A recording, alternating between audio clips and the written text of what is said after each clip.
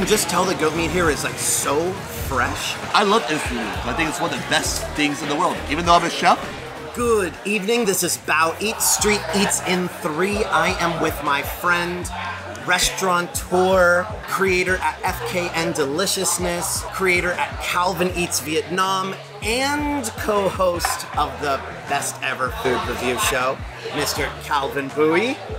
who are you talking to right now? Hello? Anybody? Bao is an old friend of mine. A friend that I think I've known for six years. Yeah. Good memory. And to be able to be on your show today is a true testament to how much of a busy person he is.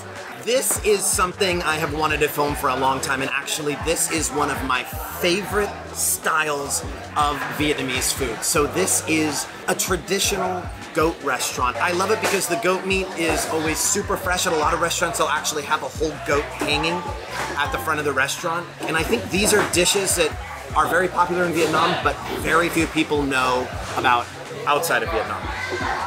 I totally agree. Goat is a dish that in the Western world, we don't eat a lot of it because it's so gamey.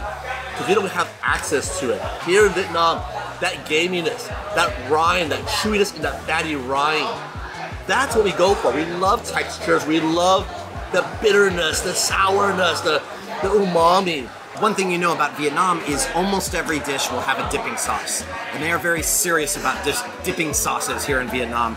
And this is one of my absolute favorite dipping sauces. This is called chao, and it is a fermented tofu that's super rich and creamy and it complements the goat really well. So, and along with that chao, we have satay, which is basically like Vietnamese style chili oil. Oh, here in front of us, we have one of the most popular dishes at this restaurant. So this is steamed goat along with herbs, veggies. You can just tell the goat meat here is like so fresh. And I love I love the pepper that they put throughout. If you look at the device that's being cooked in, this is steam. You don't usually see this steaming technique in the West. Usually you just steam vegetables. You never Yeah. steam protein. They utilize the steam process to cook the goat all the way through, but do it in a way where it's still slow and slow. You still keep a lot of the goat essence in this dish. You still get that chewiness of the goat. You still get that really nice hard rind of the fat. All right, so what is this? So we've gone from steamed goat meat to fried goat meat. Deep fried, crustified goat ribs. And I actually never knew about this dish until recently. My friend ordered this, and this is gonna blow your mind, Calvin. This is gonna literally blow your mind. Okay, Cheers. sure.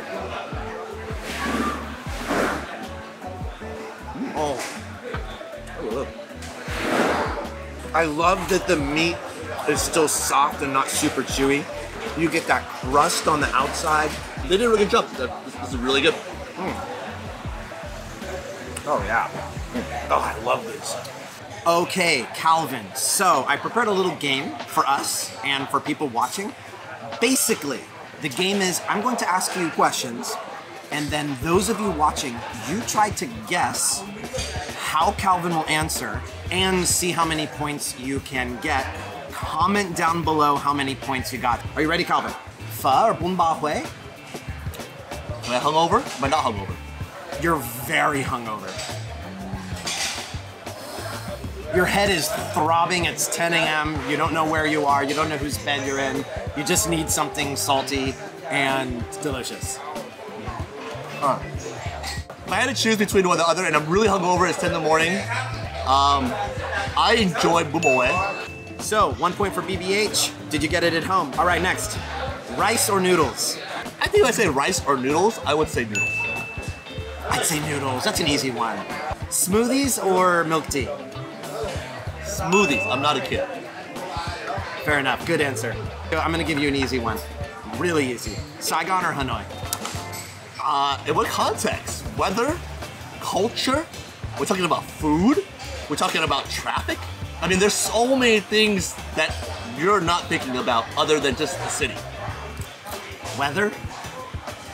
Weather in Hanoi is really nice during certain parts of the year. I love Hanoi. I'm giving that a point for Hanoi. Okay. All right, well done. Okay.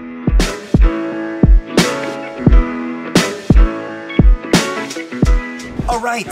Thank you for the patience. You might notice it's dark now. So here we are. We have ordered the hot pot. This is really the reason you come to these types of restaurants. I'm gonna say, Calvin, one of the things I love most about the goat hot pot is the broth. The broth is really rich. It's like one of the richer broths, I think, in Vietnam.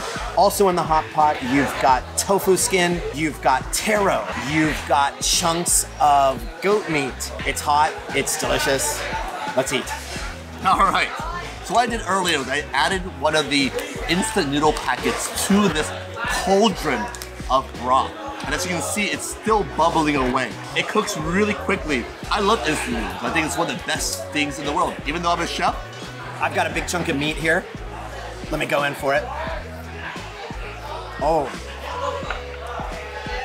Yes. Mmm.